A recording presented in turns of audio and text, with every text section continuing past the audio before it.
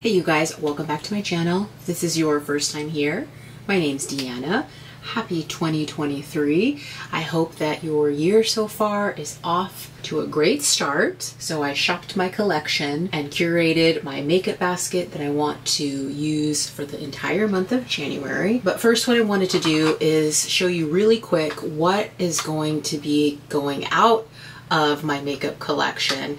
These are all things, well, there's a few things that I wasn't using in December, but the majority of them are items that I was using in December and am saying goodbye to for 2023. First things first is this old Too Faced bronzer. And in my December makeup bag, I told you guys that this was the that December was going to be the last month I was going to use this old bronzer that I've had in my makeup collection for probably five or six years. It's got the old packaging. There is still some left. And yes, I could continue to use it, but it's that old. I'm ready to say goodbye to it. I thought for sure by now I would have completely 100% pan this, but alas, it did not happen and that's okay. We had a great run together. also, what's going away is the e.l.f. Glow Up Primer serum. So I used this almost every day that I did my makeup as my primer. I got through a lot of it.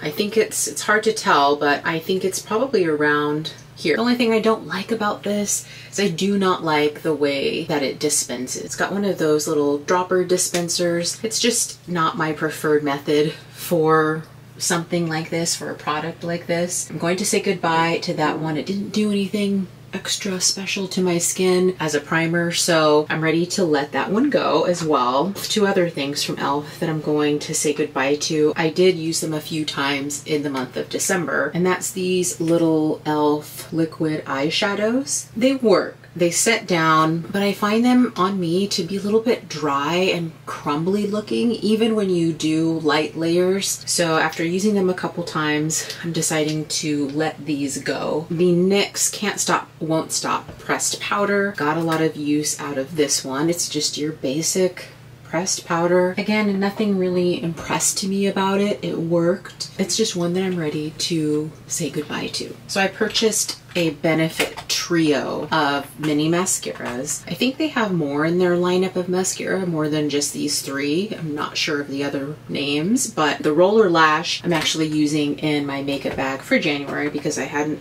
tried that one yet. There's this one, the They're Real Magnet Mascara right here. This one I was using in November. Don't like it.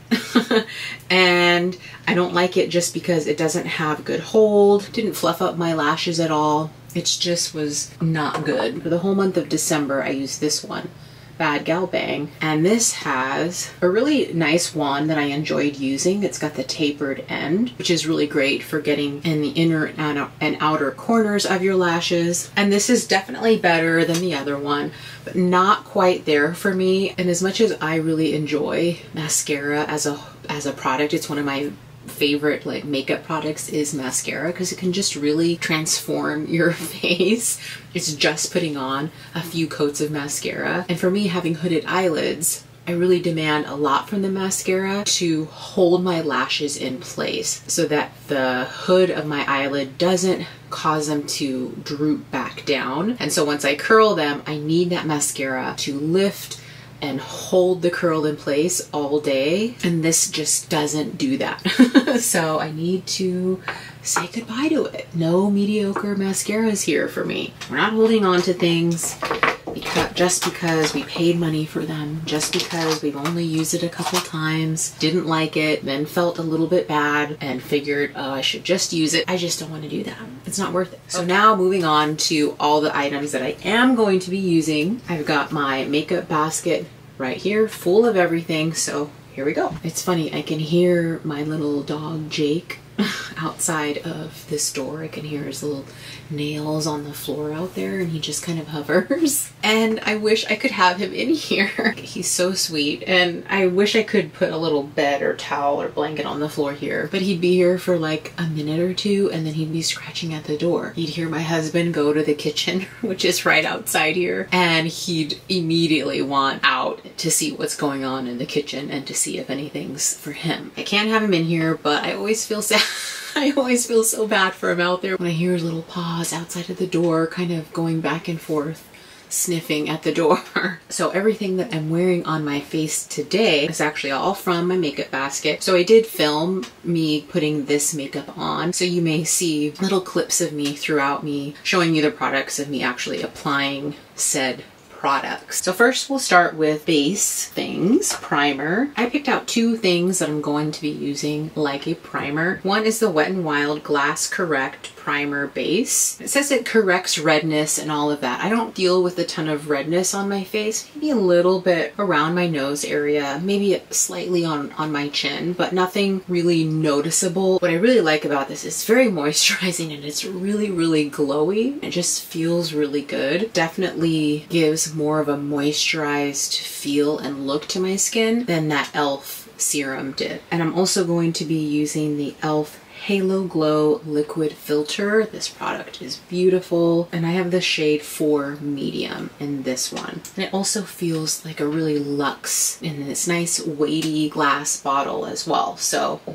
there's that. So I'm just going to be using those two back and forth uh, as a base for my makeup. I don't think I'll use them together like this and the Halo Glow on top. It's going to be either or. And I decided for January, I'm going to do a concealer only month. No liquid foundation. So for that, I'm going to use the Born This Way Multi-Use Sculpting Concealer. I have the color Cookie. And this one I was using in December as well as my concealer. It's definitely a full coverage concealer, but it sheers out really beautifully. It's perfect for a concealer only type of a makeup look and I'd really like to use this up. And as far as other base makeup, I will be using two different powder foundations. One, I think it may be discontinued and that's the e.l.f. Stay Matte But Not Flat Powder. This is normally the powder that lives in my purse and I do any sort of little touch-ups during the day with this Stay Matte Not Flat powder. And I have the color medium beige. The last time I purchased this powder, I purchased two from Ulta because I just really, really like it. It does look rather light here in the pan, but it blends out on my skin tone just beautifully. It's just, it's a beautiful powder. I really like this. I have one other backup that I will absolutely use up. So with that in my mind of knowing that at some point I'm gonna have to find a different powder foundation. When the e.l.f. Camo Powder Foundation came out, I was really interested in trying it out. So I have the color Light 280N, which I'm not light complected but in searching for my match I use YouTube as a resource which I'm sure many of you do too so I look for someone who has close to similar skin tone as mine and look for reviews on the product to see which one I think will work for me best. And this is the one, and I believe it was the Mexican Beauty. I've tried out many different complexion products based off of what she uses as a shade. And I'm pretty sure I got this shade because it's the same one that she did. And this is what it looks like, light 280N and I used this little triangle velour puff to apply it and just get some of the powder. I like to tap it out on the back of my hand and then go in with it and press it into those areas that I really want a little bit extra coverage and just kind of leaving this area of my where I have all my freckles. I don't press powder over there because I want my freckles to show up as much as possible. So other powders since I said goodbye to that Too Faced bronzer, I said hello to Dior.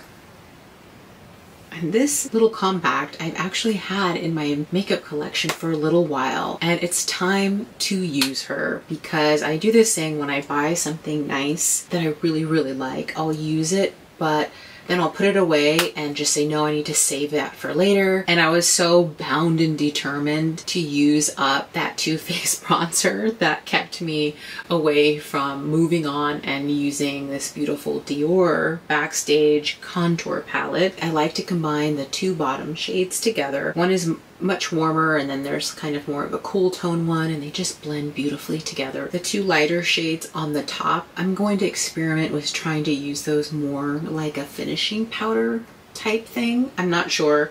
I've got to play around with those and see how I like to use them. But in the past, when I first got this, I would use these as um, setting powders for my eyelids, for setting my eyeshadow primer. That's what I would use that for. And then also bringing in my Hourglass Translucent Veil. Again, this is something that I have in my makeup bag always because it's the only powder that I will use for my under eye and that's just it. I think it's the best one. I won't ever get another one. I will always purchase that one. Lastly, for base product type powders is another product that I'm pretty sure has also been discontinued. And the packaging you can tell is like so old. It's this, this Wet n Wild Color Icon bronzer in the color Reserve Your Cabana.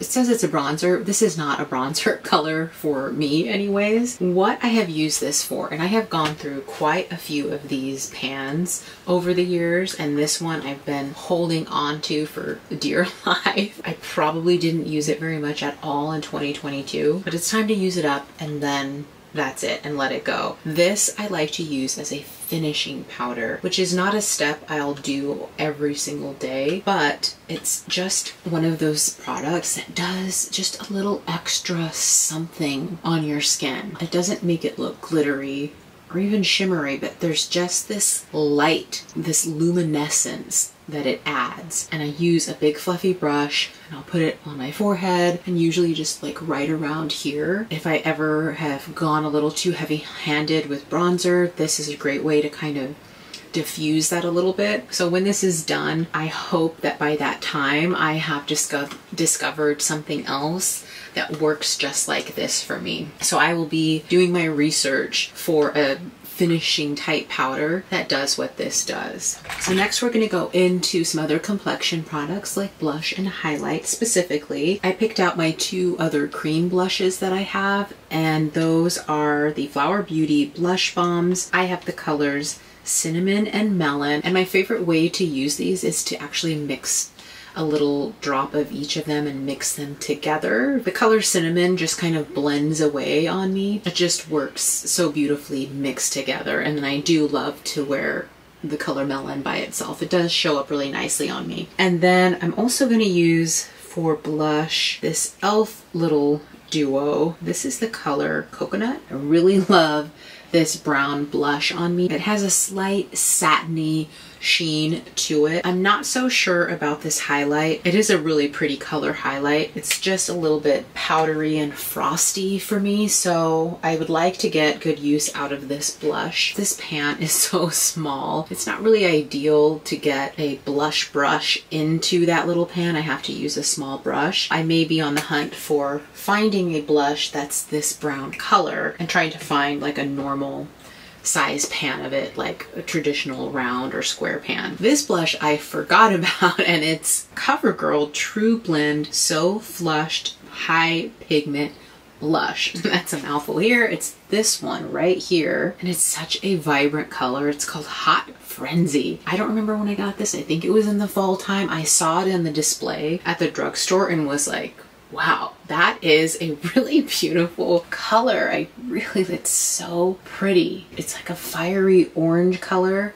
Oh, such a pretty blush. I'm in a hot frenzy to use this blush, aptly named Hot Frenzy. And this little box right here, this is a Benefit blush in the color Sugar Bomb. Not balm, like lip balm, sugar bomb, like as in she dropped a bomb on me. this is one of their little boxed blushes. It's a little mini sized one. They used to make it full size. This actually used to be my only blush slash highlighter that I would wear. again, they used to make it in the full size and now they actually don't make this packaging anymore. They've streamlined it and it's a thin little box. It doesn't come with the brush. This Look at this little little baby brush. It's so cute. It's basically four different shades together and there's the lighter shimmer more shimmery shades are half the pan and then it's just overall a goldy rosy type color. Because this is just a little mini size here, I would keep this in my uh, makeup bag and just take it along with me if I ever needed to touch up or anything like that. This was something that I would use sometimes, but I've noticed that I haven't used it at all in probably months. So when I saw saw it in my makeup bag that I put in my purse, I thought, you know what? I'm gonna go back to it. I'm gonna revisit it and start using it as a regular blush slash highlight like I used to and see how I feel about it. So I would say this product is probably on the chopping block just a little bit. We'll see how it goes the rest of this month. And as far as any other type of highlighter, I have ColourPop in the color Lunch Money right here. It's classic. This particular color they've been making for quite some time. It's one of their Super Shock highlighters. I actually just discovered this at Target because Target now has a limited selection of ColourPop products and this was one of them and I picked it up and it's beautiful. It's rather translucent in nature on me and it just, I love the way that it highlights. There's no shimmer particles in it. It's just a beautiful sort of translucent glow on my skin. I like to use it also as like an inner corner little highlight, which is what I did today. And I'll also, and I also use some of it on like my brow bone up here today. And I just dab it on with my fingers, which I have found is the best way to use it for me, just because it does have that sort of bouncy cream to powder texture that the Super Shock formula has. So I like it best applied with the finger. So as far as another highlight type product that I have really, really enjoyed, and that is the Tarte Shape Tape glow wand in the color Agleam. I first was introduced to this product through a little sample and i just loved it. It's a little liquid highlight and again it's something that has no shimmer particles or glitter or anything like that which i don't necessarily mind shimmer.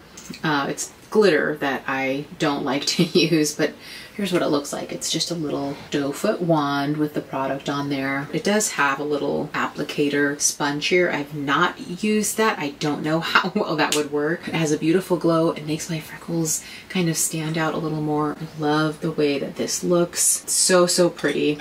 Putting aside my MAC Paint Pot in Soft Ochre as my eyeshadow primer and pulling in little Milani eyeshadow primer. This is like the oldest one that I have and I have a new fresh tube so I just wanted to go ahead and use this one up. So of course that is a classic. It's one that I've used for years now. It just works. It's a great eyeshadow primer. So I picked out one full eyeshadow palette to use for the entire month of January. Sometimes I think that I can pull two and use them, which I can do that, but I find that once I get into working with one and seeing all the different ways I can use one and kind of challenging myself to use every single color and just come up with different looks, I find that for me, having just one eyeshadow palette to use for the entire month just makes me feel like I'm really actually using what I have, getting to know it, getting really creative with the different colors that are in the palette. So I'm going to be using this oldie but a goodie. Well, it's new to me. It's new to my collection. And that is is the Too Faced Sweet Peach palette. It's so cute. Now, I'm not one to collect super cutesy packaged eyeshadow palettes. I have two of the uh, ColourPop um, Mandalorian palettes that I love that have cute packaging on them and I love those palettes. But other than that, this is really the only other thing that I can think of that has this like cutesy packaging to it. I've always wanted this palette and when it first was released and it was like all the rage and supposedly sold out multiple times, I always wanted it and it's always been on my wish list and I just, for whatever reason, never purchased it until just about a month or two ago, I got it. And I'm so happy that I did. I love the fake candy peach ring smell that it has. I love the color story. It's just a beautiful palette of colors and I am so excited to dig into it, making my dreams come true. I've always wanted this for years and now I have it in my collection. And you can still find current tutorials using the Sweet Peach palette and I'm sure it's many of people's favorite and like everyday sort of a palette. It's got a great blend of colors on there. I'm just so happy it's in my life now and to start off the year with a palette that I have always wanted. And yeah, if that's something that you have, please let me know. Did you first get it when it came out and everybody was so excited about it? I also pulled three singles from my collection. Two ColourPop Super Shock shadows. One is the color DGAF this one right here. It's actually the one that I used on my eyes today. It's just this beautiful bronzy coppery color. Look at that. It's so pretty. So, so pretty. I use this all over my lid today. That's it, just this one. And I didn't even need to use eyeshadow primer for it. I just used my finger to apply it and spread it out all over my eyelid. And it still looks really, really pretty. This formula just adheres so well onto the eyelid. Anyhow, uh, Moonwalk is the other color that I will be using. It's green and then it has kind of a copper flip to it. I don't know if you can see that, but oh, it's so, so pretty. This other little pot I've had for quite some time. It's the Charlotte Tilbury Eyes to Mesmerize in the color Mona Lisa. It's a beautiful, rich, chocolatey brown color. It layers beautifully, it sets down, you can use it as a base. Beautiful product by Charlotte Tilbury there. So next in the basket here are two setting sprays. This one from Hard Candy here. This is the one I've been using and it's very glowy and there's just a little bit left so I'm pretty sure I will definitely be able to finish that one up. And then I also have the IT Cosmetics Your Skin But Better setting spray this little mini version and we'll start using that one when this one is done. Oh, I forgot about these two. These two, I used these in my 90s makeup video, the Maybelline Fit Me concealers. One of them is getting down pretty low. This is the one that I carry in my purse I need to do any kind of a little bit of a touch up and it's been in there a little bit a little while. I figured it since it's been in there I want to go ahead and use it up and I like mixing these two colors together. For eyebrows I'm going to be using the little this little elf duo the elf instant lift brow pencil. I use the color deep brown and for the e.l.f. Wow Brow, I have the color Neutral Brown. It's just a nice, simple, easy way to do my brows on the daily. And as I mentioned kind of in the beginning when I was talking about the Benefit mascaras, I will be using the third one in that little three pack that I got, which is the Roller Lash. I used it yesterday. I enjoyed it. I used it today. And right out of the gate, first use, this is definitely my pick out of the three as far as one that I would possibly consider purchasing a full tube. I find that it really lifts and holds the curl a lot better. I think I'll enjoy using this one for sure for the entire month. And then next I've got a couple eyeliners I just wanted to share just in black and brown. These are both Rimmel eyeliners right here. And as you can see, I've used, used them up quite a bit. They're both around the same usage of each of them right now. And these I've had for a while and they're still good. I used the brown one today. I decided I'm going to go ahead and use these as much as I can this month. I have a fresh brown and black eyeliner that I want to open up. So I'm going to use these this month and then probably get rid of them after that just because I think it's time. So last I have we have lipstick. And so I did pick out quite a lot of lip products. One that I wanted to share is one that I use every single day and I have for years. And it's what I use after I do all of my morning skincare. I use this lip oil. It is Ulta Juice Infused Lip Oil. I happen to right now have the scent tangerine. It's unflavored. It just has a little bit of an orangey scent. I've used all different varieties of these juice infused lip oils I have for years now. It's a really beautiful lip oil to use, especially just to kind of condition and prep your lips, make them nice and soft to apply lipstick or whatever you're going to apply afterwards or just using it by itself which I will often do that as well. And what I'm wearing today actually is the Revlon Super Lustrous Shine. They come in these tubes right here really pretty black lacquered and gold tubes from Revlon here. The color I'm wearing right now is Rum Raisin a classic color from Revlon. I'm gonna put a little more on this is the color right here. Just a really beautiful rosy brown shiny lip color. Definitely has a balm feel to it. So easy to put on, so easy to wear. I tend to lean more towards in liking matte lipsticks, but lately I've been really into wearing a little bit more of a balmy or a gloss as well and just mixing that in. I still love my matte lipsticks, but I'm definitely inviting more of the moisturizing balms, and lip glosses into my world. So I also picked up recently a super lustrous. This one is called Glistening Purple. And here it is right here. It looks like a purpley grayish color. Let me swatch it. But it's so, so sheer and pretty. I'm not sure how well you're gonna see it here. There's no glitter or anything in there. It's so pretty. I'm excited to wear this one. That's a beautiful formula from Revlon. I did pick up the Lancome, Lancome Juicy Tubes Original Lip Gloss and I picked up the color Hallucination. Do y'all remember these? These were all the rage. They still make their, it's a really, really great little lip gloss. This definitely I can see myself having as one of those things that's just always in my purse and always an option uh, when my lipstick wears off and I don't feel like reapplying it putting on the Juicy Tubes by Lancome. And as far as other regular bullet style lipsticks. I have one from Urban Decay in the color Horchata. This is just your classic kind of grungy brown color. This is an, the, an Urban Decay matte formula, but it's not fully matte at all. Definitely more of a cream matte very comfortable to wear, beautiful color. And then I've got this L'Oreal matte lipstick in the color Matte with Love. Really love this formula, but really hate that L'Oreal still scents their lipsticks.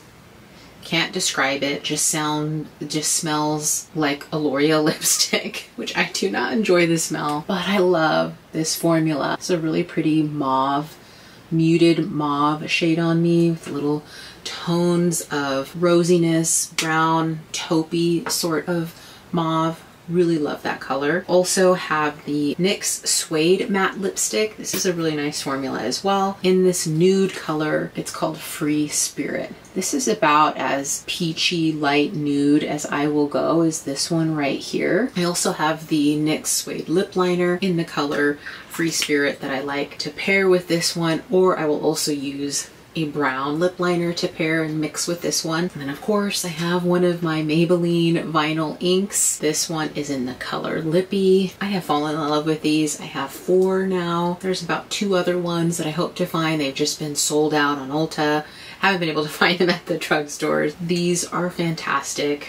They're long wearing, they're comfortable, they're kind of matte, but kind of not. I just love them so great. Um, then I just have a few lip liners, mostly the NYX suede ones. Love those lip liners uh, to pair up with these lipsticks that I have. So I think that's it, you guys. That is it for my January makeup bag or basket, if you will. I am putting everything in this basket here and that goes on my vanity upstairs and it's just what I pull from every single day when I get ready for work. Thank you so much for sharing some of your precious time with me here today, going over what I'll be using the entire month of January. I hope you go and have a great rest of your morning or afternoon or evening, whatever time of day it is. If you stumbled across this video of mine, thank you so much for being here. If you like this video, please consider liking and subscribing. And that's it.